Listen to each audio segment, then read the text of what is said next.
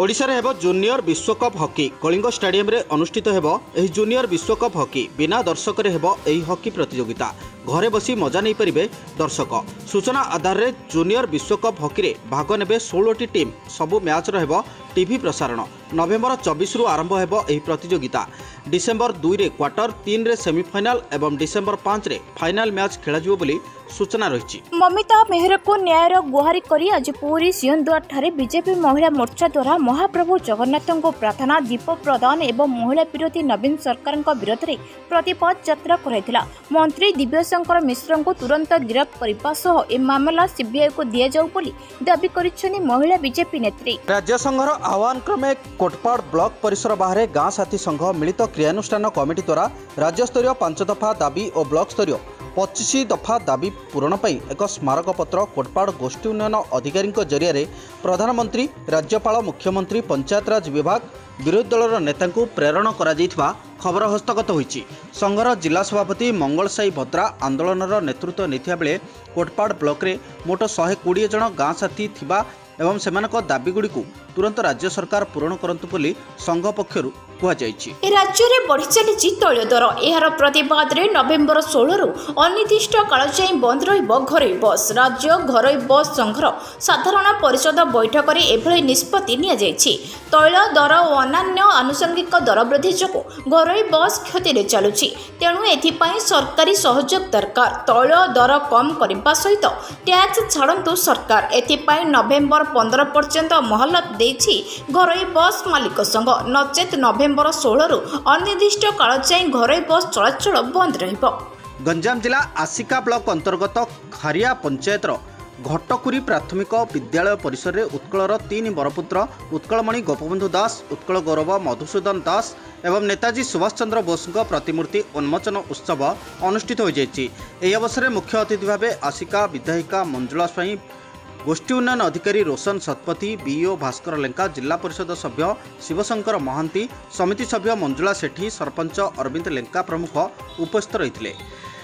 ଖଣ୍ଡପଡ଼ା ବିଧାୟକ ସୌମ୍ୟରଞ୍ଜନ ପଟ୍ଟନାୟକ ଅବସରପ୍ରାପ୍ତ ଶିକ୍ଷକ ତଥା ଉତ୍କଳ ସ୍ୱାଭିମାନ ମଞ୍ଚର କାର୍ଯ୍ୟକାରୀ ସଦସ୍ୟ ହୟଗ୍ରୀବ ତ୍ରିପାଠୀ ଓ ବିଦ୍ୟାଳୟ କର୍ତ୍ତୃପକ୍ଷଙ୍କ ସୌଜନ୍ୟରେ ଏହି ମୂର୍ତ୍ତି ପ୍ରତିଷ୍ଠା ହୋଇପାରିଛି ବୋଲି କୁହାଯାଇଛି।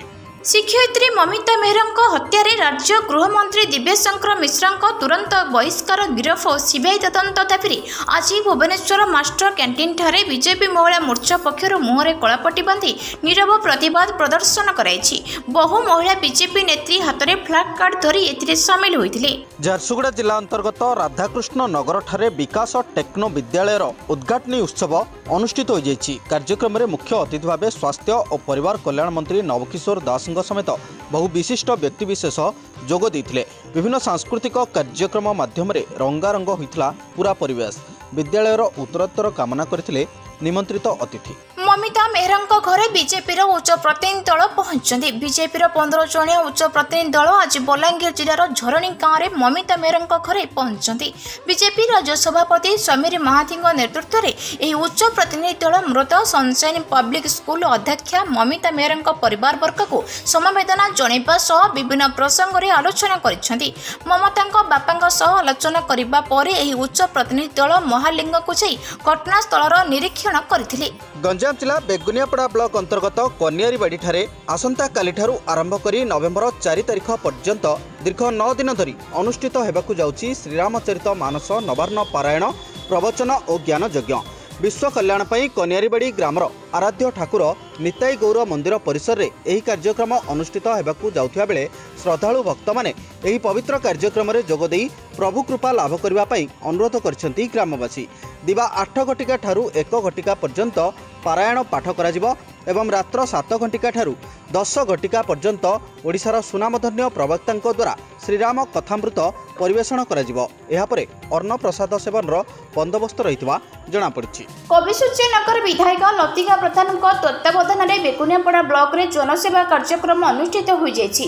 ସୁମଣ୍ଡଳ ଗୋଷ୍ଠୀ ସ୍ୱାସ୍ଥ୍ୟ କେନ୍ଦ୍ର ପରିସରରେ ସଫେଇ କାର୍ଯ୍ୟ କରାଯିବା ସହ ରୋଗୀମାନଙ୍କୁ ବିସ୍କେଟ୍ ଫଳ ବଣ୍ଟନ କରାଯାଇଥିଲା ଏହାପରେ ଷଣ୍ଢମୂଳ ସ୍ଥିତ ଉନ୍ନତି ଉଚ୍ଚ ବିଦ୍ୟାଳୟ ଓ ସାଙ୍କୁଡ଼ା ସ୍ଥିତ ଧବଳେଶ୍ୱର ବିଦ୍ୟାପୀଠ ପରିସରରେ ସଫେଇ କାର୍ଯ୍ୟକ୍ରମ ହୋଇଥିଲା। ନିଜେ ପରିଷ୍କାର ରହିବା ସହ ପରିବେଶକୁ ପରିଷ୍କାର କରିବା ପାଇଁ ସମସ୍ତଙ୍କୁ କହିଥିଲେ ବିଧାୟିକା। ଏହାପରେ ଷଣ୍ଢମୂଳ ପଞ୍ଚାୟତରେ ଏକ ଅଭିଯୋଗ ଶୁଣାଣି ଶିବିର ଅନୁଷ୍ଠିତ ହୋଇଥିଲା।